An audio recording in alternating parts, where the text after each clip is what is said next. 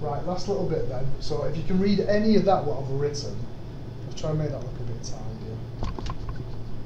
So that's 2r squared 1 minus cos theta. I guess really that this should be down here, but it don't really matter, does it? Uh, right, so let's do some tidying up. So we're aiming towards the, like the theta is uh, 1 minus a half cos, uh, the cos theta is 1 minus a half r squared?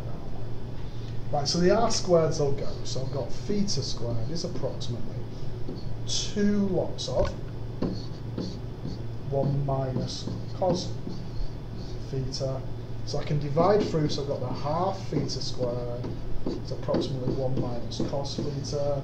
Switching over, and cos theta is approximately 1 minus a half theta squared. Jeez, can you actually read what I've written? The, the board's ever so slightly out. Right, so this is kind of like just where the, the proofs come from. Um, just in case they give you a question like this and you know where they've got a little bit missing and you have to find the bit that's there. So I'm using the triangle from O to A to B. I'm using the sector from O to A to B. I'm using the right angle triangle from O to A to C.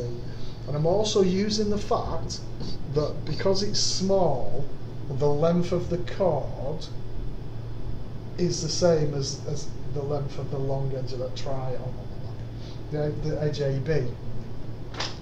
If you can follow them off, so you can follow my writing, well done.